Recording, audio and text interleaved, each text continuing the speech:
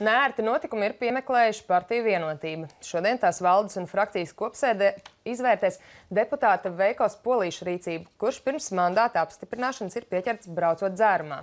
Savukārt vakar Vakar kļuva zināms, ka darbību partija apturējas līdzinējā partijas Kandavas nodaļas vadītāja un pašvaldības deputāta Inga Priede, kura Twitterī pauda homofobiskus izteikumus.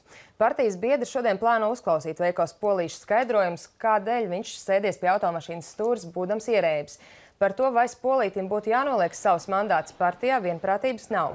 Viņš iepriekš izteicies, ka neplāno atteikties no deputāta mandāta. Spolīts uzskata, ka braukšana dzērumā nav pietiekami nozīmīgs iemesls, lai viņš tā rīkotos. Viņš gan nožēlojot izdarīto un solījies uzņemties morālu atbildību.